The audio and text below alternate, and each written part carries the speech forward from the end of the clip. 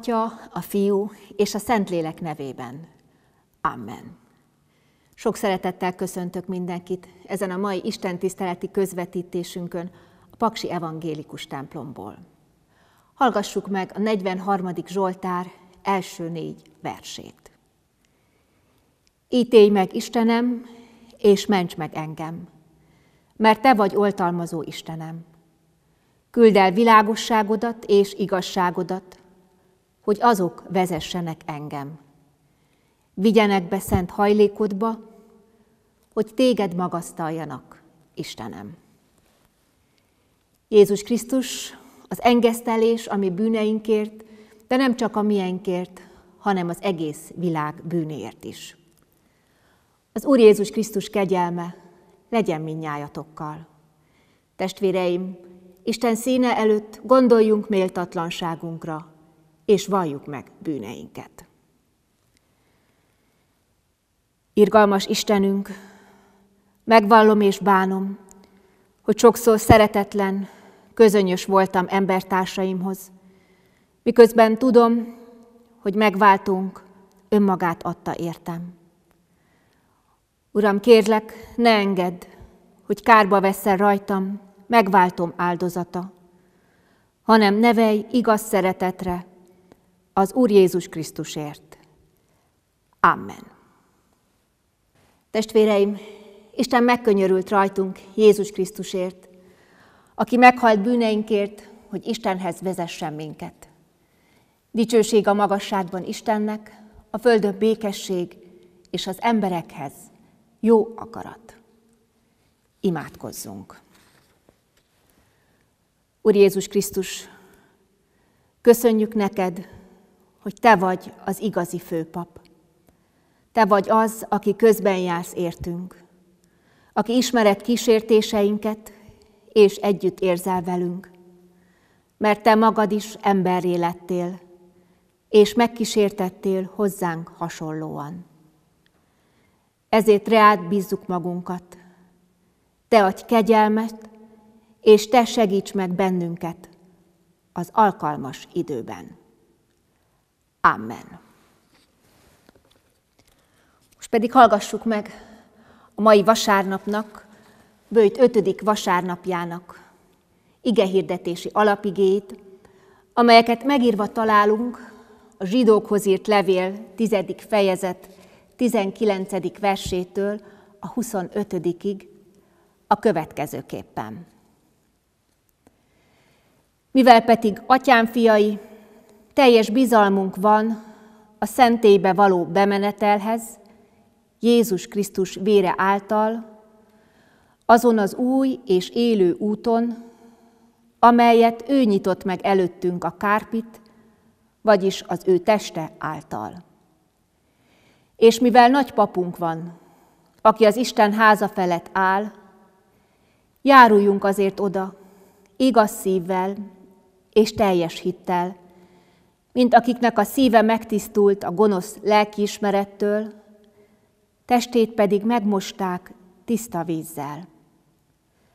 A reménység hitvallásához szilárdan, ingadozás nélkül ragaszkodjunk, mert hű az, aki ígéretet tett. Ügyeljünk arra, hogy egymást kölcsönösen szeretetre és jó cselekedetre buzdítsuk. Saját gyülekezetünket ne hagyjuk el, ahogyan egyesek szokták, hanem bátorítsuk egymást. Annyival is inkább, mivel látjátok, hogy közeledik az a nap. Boldogok, akik hallgatják és megtartják Istennek igéjét. Szeretett testvéreim, az Úr Jézus Krisztusban a bevezető 43. Zsoltár és a mai igében a zsidókhoz írt levélből is egy felszólítást hallhattunk. Egy felszólítást arra, hogy térjünk be a szentélybe, Isten szent hajlékába. Talán idáig ez nem tűnt fel. Talán idáig emellett a felszólítás mellett elmentünk sokszor, sokszor süketem. Most, ma ezekben a napokban azonban különösen is fájdalmasnak érinthet bennünket ezek a szavak, a Zsoltárosnak és a levél írójának ezek a felszólításai.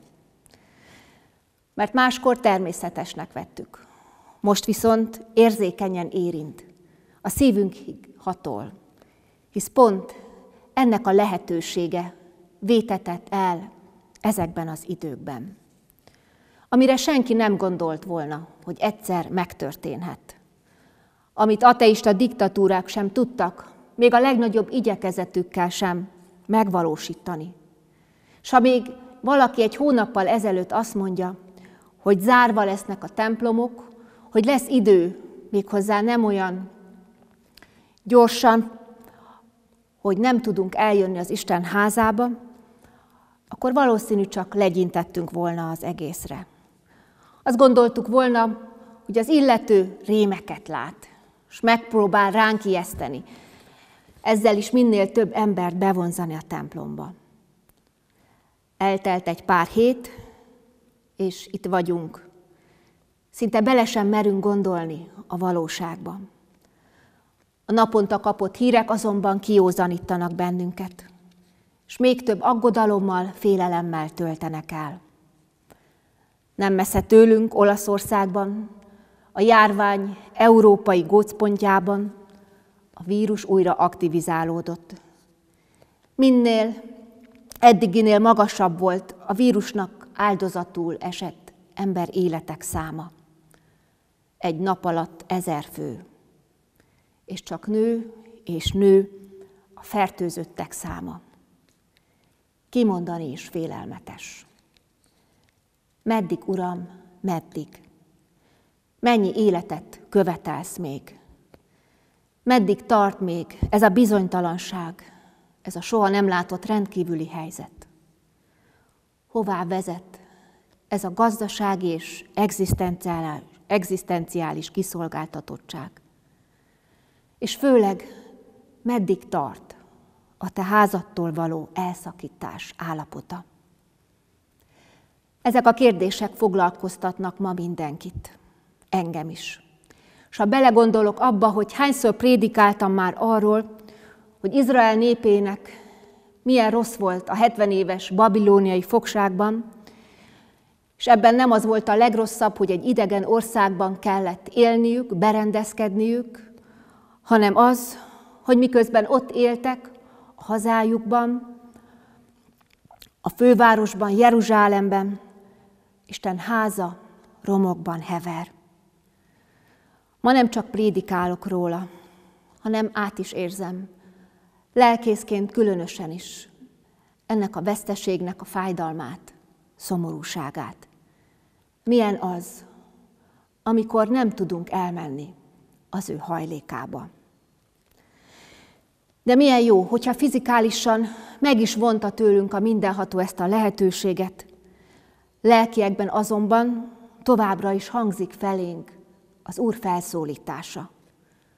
Térjünk meg, forduljunk hozzá, szívben, lélekben, hittel, reménnyel. Mert ez nem vétetett el tőlünk. Ez, amíg élünk, megmarad és most sokkal határozottabban, sokkal erőteljesebben szól, erősít, bátorít Isten igéje. Járuljunk hozzá igaz szívvel, teljes hittel, mint akiknek a szíve megtisztult a gonosz lelkiismerettől, testét pedig megmosták tiszta vízzel. Egy anekdota szól arról, hogy egy ember elment a rabbihoz, hogy megkérdezze tőle, hol található az Isten. Hol található az Isten? Kérdezett vissza a rabbi. A rabbi. Mindenhol, válaszolta. De leginkább ott, ahol beengedik. Ahol megengedik, hogy Isten Isten legyen. Ahol megengedik, és közösségbe lépnek vele. Mert ott gyógyulást ad és ez reménnyel tölthet el bennünket. Ma is. Sőt, erre kapunk ma kifejezetten felszólítást. Ezt a lehetőséget kínálja fel Urunk ma újra. Engedjük be, lépjünk közösségbe Istennel. Lépjünk be az ő jelenlétébe, a szentek szentjébe. Most otthonainkban, belső szobánkban, de mindenek előtt a szívünkben, lelkünkben. És szilárdan, ingadozás nélkül ragaszkodjunk hozzán. Kölcsönösen szeressük egymást, buzdítsuk jó cselekedetekre. Ne hagyjuk el gyülekezetünket, és ő megadja a gyógyulást. Nagybőjt idejében vagyunk, nagy hét kapujában. Ebben az időben Krisztus áldozata, áldozat vállalása kerül középpontba. Ez a közelgő húsvéti ünnepünk is központi témája. És ebben az idei kényszerű és furcsa bőjtben mi is, ahogy mindenki, áldozatot hoz, amikor otthon maradunk, lemondunk arról, ami idáig oly fontos volt az életünkben. Személyes találkozásokról, együttlétekről, összejövetelekről. De nem csak mi hozunk áldozatot, hanem ahogy értünk, életünkért feláldozta magát Krisztus, életünk védelme és megóvása érdekében, úgy hallatlan áldozatot hoznak most egészségügyi dolgozók is, hivatásosok és önkéntesek, szociális területen szolgálók, az infrastruktúra megerősítéséért és működtetéséért, és a rend megőrzéséért felelősek ugyanúgy. Hogy megállítsák amennyire csak lehet a korterjedésért, hogy vigyázzanak ránk. Az ő áldozatvállalásuk jelentőségét ma hatványozottan éljük meg és értékeljük ebben az idei különös és furcsa bőjtben. De Krisztus áldozatvállalása azért is fontos nekünk, mert csak az ő áldozatvállalása által léphetünk be Isten hajlékába. Az ő áldozata révén engedhetjük be Istent az életünkbe, léphetünk közösségbe vele. Pedig sokszor azt gondoljuk, hogy vele közösségbe lépni, ez magától értetődő. Nem magától értetődő, Isten jelenlétébe lépni. Isten jelen van közöttünk, de ez nem automatikus, és főleg nem egyszerű. És ezt akkor érezzük különösen, most talán napjainkban, amikor próbatételeket kell elhordoznunk, amikor félelmet, bizonytalanságot élünk át, mintha Isten megvonta volna tőlünk az ő közösségét, mintha magunkra hagyott volna. Azért sem egyszerű és magától értetődő Isten közösségébe lépni, mert ennek ára volt. És ezt az árat nem mi fizettük ki.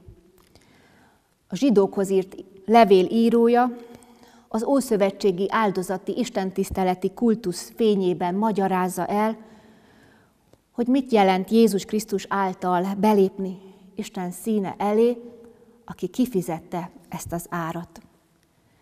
De ahhoz, hogy ezt megértsük, először is tudnunk, ismernünk kell az akkori templom felosztását. Először a Szent Sátor, majd a Jeruzsálemi templom volt a zsidó istentisztelet helye. A sátornak, majd később a templomnak a beosztása ugyanolyan volt. Mind a kettő két nagy részre oszlott. Az egyik volt a szentély, az épületen belül, a másik pedig a szentek szentje. A kettőt pedig egymástól egy kárpit, egy függöny választotta el. A szentek szentjében volt a szövetség ládája, a tíz parancsolat, valamint Áron kivirágzott veszeje, egy aranyedény, amelyben abból a mannából volt, amit a pusztai vándorlás ideje alatt ettek. Mindez emlékeztette Isten népét arra, hogy Isten velük van, velük jár, ő hozzá tartoznak. A szövetség ládájának tetején pedig két angyal volt kifaragva. Ezek a dicsőség kerubjai, a dicsőség angyalai. A két angyalon, illetve közöttük lakott, az ő hitük szerint Isten dicsősége, Isten jelenléte. És amikor Mózes megépítette a Szent Sátort, akkor leszállt Isten dicsősége, betöltötte Isten jelenléte. Ezért azt olvashatjuk, hogy Mózes nem tudott bemenni a sátorba. Aztán később, amikor Salamon király megépítette a Jeruzsálemi templomot, felszentelték és imádkoztak, akkor Isten dicsősége, Isten jelenléte szintén leszállt a templomra, és nem tudtak belépni oda. A szentek szentjében, ahol a két kőtábla a szövetség ládája volt, ott Isten különleges, megfoghatatlan módon volt jelen az ő népe között. Azt hitték és vallották, hogy ott trónol a szövetség láda tetején. Ide azonban senki sem mehetett be. Csak egyszer egy évben, és kizárólag a főpap. Néhány rövid pillanatra állhatott meg, miután bemutatta nagy bűnéért való áldozatát, először önmagáért, majd utána az egész népért. Kárpit pedig azért volt előtte, hogy megmutassa, az, úr le van, az út le van zárva, mint egy kordon. Oda nincs bemenetel. Talán érezzük ennek a helyzetnek a feszültségét. Egyrészt jelen van az Isten az ő népe között, a szentek szentjében, ugyanakkor mégis el van tőlük választva. Ezt a hasonlatot veszi elő a zsidókhoz írt levél írója, akkor, amikor Krisztus áldozatáról szól. Az ő áldozatáról és kereszthaláláról, aki önmagát áldozta fel, és így lehetővé tette a bemenetelt a szentek szentjébe. És ez egyszer és mindenkorra megtörtént, tökéletes. És ez az, amely által nekünk is lehetőségünk van a bemenetelhez, hogy oda járuljunk Isten színe elé.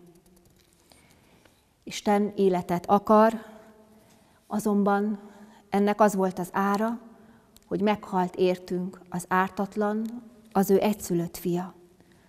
Mert vérontás nélkül nincs bűnbocsánat, nincs bemenetel Isten hajlékába. A mai igében a levél írója arra akarja bátorítani a gyülekezetet, hogy éljenek ezzel. Bátorítja őket, azokat a keresztjéneket, akik különböző megpróbáltatások idején éltek. Nem tudjuk konkrétan, hogy melyek voltak ezek a megpróbáltatások. Csak a következményeiket ismerjük. A hitben való megfáradást, a szenvedésektől való félelmet, külső megváltozott körülmények közötti csüggedés állapotát, hogy üldözik őket, félreteszik, az életükkel játszanak. Ezért van szükségük annál inkább arra a bátorításra, amit írnak nekik. Maradjatok meg, szilárdan, ingadozás nélkül a hitben. Járuljatok Isten színe elé, lépjetek be az ő jelenlétébe, engedjétek a szívetekbe, hogy Isten Isten lehessen, ura a nehéz helyzeteknek. És közben pedig arra is figyelmeztet, hogy ne üljünk karbatett kézzel tétlenül. A reménység hitvallásához szilárdan, ingadozás nélkül ragaszkodjunk. Mert hű az, aki ígéretet tett. Ügyeljünk arra, hogy kölcsenesen, szeretetre buzdítsuk egymást. Saját gyülekezetünket ne hagyjuk el, ahogy egyesek szoktak, hanem bátorítsuk egymást, annyival is inkább, mivel látjátok, hogy közeledik ez a nap. Ez a bátorítás erősítse a mi életünket és hitünket is, a mi nehéz napjainkban. Erősítsen és adjon új lendületet, hogy mi se üljünk tétlenül otthon, annak ellenére, hogy most nem hagyhatjuk el otthonainkat.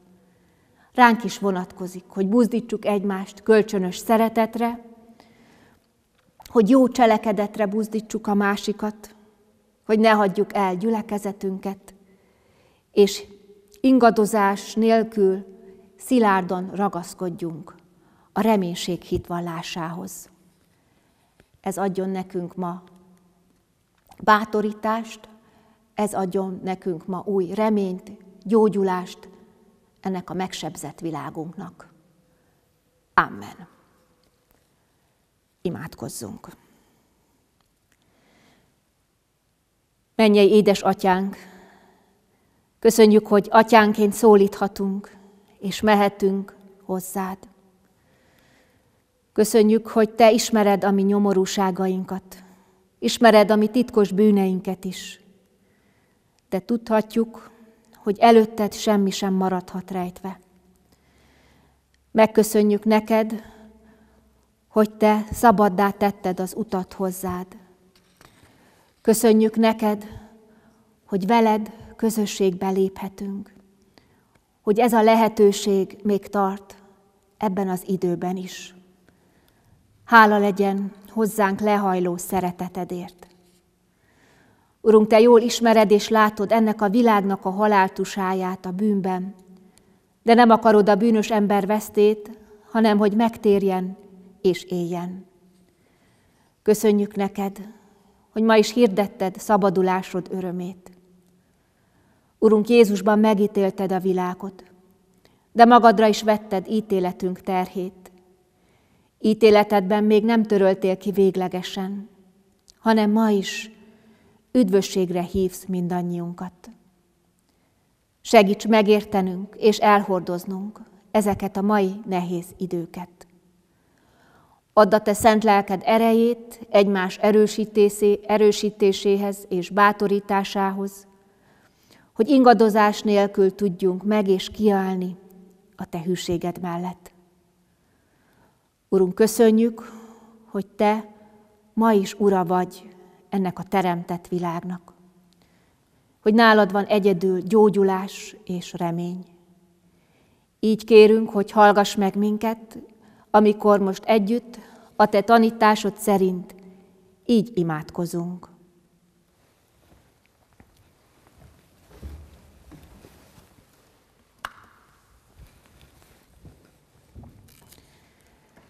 Mi atyánk, aki a mennyekben vagy, szenteltessék meg a te neved, jöjjön el a te országod, legyen meg a te akaratod, amint a mennyben, úgy a földön is. Minden napi kenyerünket add meg nekünk ma, és bocsásd meg védkeinket, miképpen mi is megbocsátunk az ellenünk védkezőknek. És ne védj minket kísértésbe, de szabadíts meg a gonosztól, mert tied az ország, a hatalom és a dicsőség mind örökké. Amen.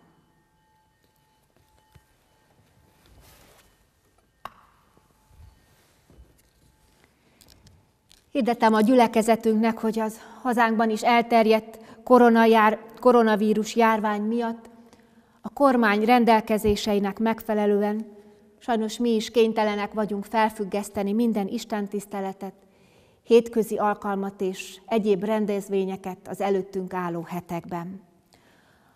Ez alatt az idő alatt a lelkészi hivatalban telefonügyeletet tartunk, és amennyiben lehet, az ügyintézést online intézzük. Szeretettel ajánlom mindenkinek a figyelmébe megújult honlapunkat is. Köszönet érte mindenkinek, aki önkéntes munkájával hozzájárult ahhoz, hogy ez megszülethessen. Hirdetem továbbá, hogy az előttünk álló időszakokban, amíg nincs más rendelkezés, vasárnaponként gyülekezetünk megújult honlapján fél tizenegytől lehetőség van Isten imádságban bekapcsolódni a Paksi Evangélikus templomból közvetített online istentiszteletünkben. Hétköznaponként pedig hétfőtől péntekig, 9 órától igei gondolatokat teszünk közre, közzé, szintén a gyülekezetünk hollapján. Emellett szeretettel bíztatok mindenkit, hogy ezekben a nehéz időkben erősítse ima életét, akár az útmutató vagy más kiadványok segítségével. Igyekezni fogunk, hogy gyülekezeti információk mindenkihez eljussanak, de kérem, hogy kövesse mindenki gyülekezetünk honlapját vagy Facebook oldalát. Tudjuk, hogy semmi sem helyettesíti az Isten tiszteleti személyes találkozást, de imádkozunk, hogy minél hamarabb eljöjjön az az idő, amikor újra összegyülekezhetünk itt, közös hajlékunkban. Isten kegyelme tartson meg minket ezekben a válságos időkben. Istennek népe, végezetül pedig vegyétek az Úr áldását.